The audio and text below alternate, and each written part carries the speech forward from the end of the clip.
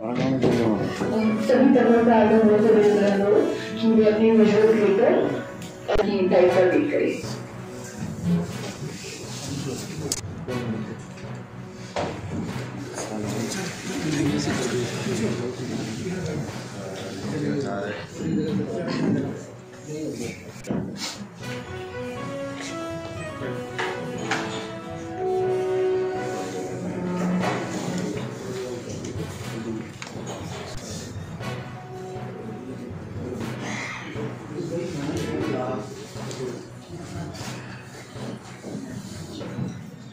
thank you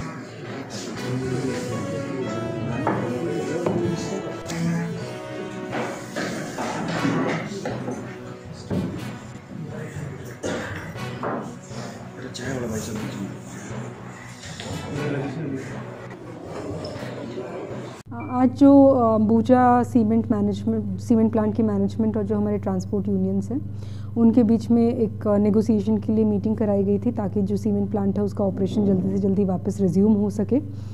दोनों ने अपने अपने पक्ष रखे हैं कि प्लांट को क्या इशू है जिसकी वजह से उन्होंने बंद किया और ट्रांसपोर्ट जो सोसाइटीज़ हैं उन्होंने भी अपना पक्ष रखा है कि रेट में रिडक्शन उनको क्यों नहीं बर्दाश्त है इस चीज़ के लिए।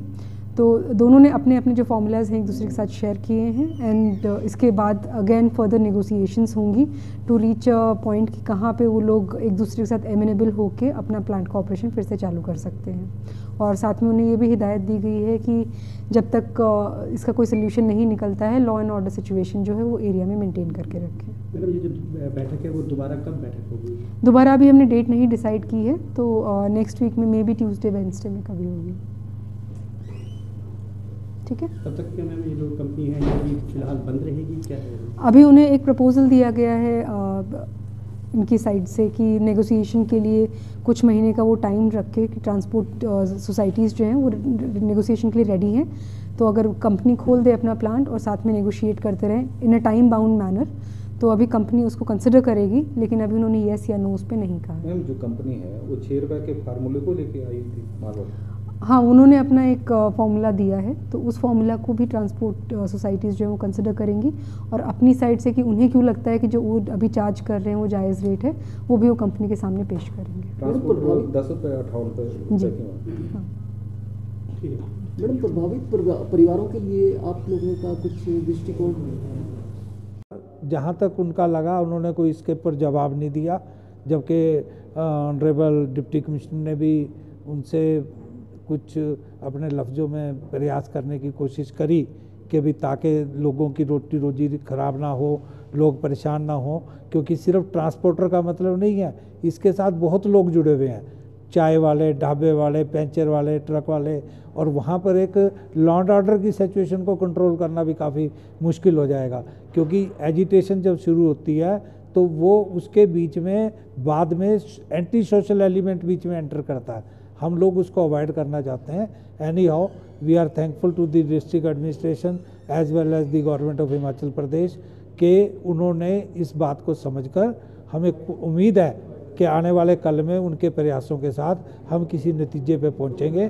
तब तक हम ये सबको लोगों को स्वस्थ करना चाहते हैं कि लॉ एंड ऑर्डर हम पूरी तरह मेंटेन करके रखेंगे. किसी प्रकार का भी कोई कार्य ऐसा नहीं करेंगे जो कि एंटी सोशल होए. तो भगवान से प्रार्थना करते हैं कि इनको भी सद्बुद्धि दे अडानी कंपनी को। इनको एक बात के लिए हमने ज़रूर कहा है कि ये गुजरात नहीं है।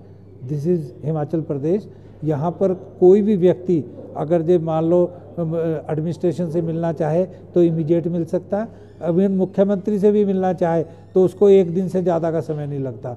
जो दूसरे प्रांतों के अंदर महीनों महीनों लग जाते हैं लोगों को मिलने के लिए। और यहाँ पर जो गवर्नमेंट है, वो सरमाएदारों की गवर्नमेंट नहीं है। वो यहाँ पर पब्लिक की गवर्नमेंट है और वो पब्लिक के हितों की रक्षा करना बाखूब भी जानती है। आपको नहीं लगता जी कि ये राजनीतिक लड़ाई है कांग्रेस और भाजपा? जब हिमाचल नहीं। में कांग्रेस की सरकार आई तो भाजपा ने दिल्ली से गेम कर दी। नहीं ऐसा तो नहीं है क्योंकि अडानी मैं तो नहीं समझता क्योंकि ना हम पॉलिटिक्स में जाते हैं। आपको बताऊँ कि जो भी गवर्नमेंट चुनकर आ जाती है हमारा ट्रांसपोर्ट के बीच में ये हमेशा असूल रहा है कि हम अपनी जो व्यक्तिगत राजनीतिक संबंध है, उसको पीछे छोड़ के यूनियनिस्ट को आगे लाकर हम कोई भी गवर्नमेंट आए, उसके साथ मिलकर ट्रांसपोर्ट के माध्यम से पूर्ण रूप से कार्य करने का प्रयास करते हैं।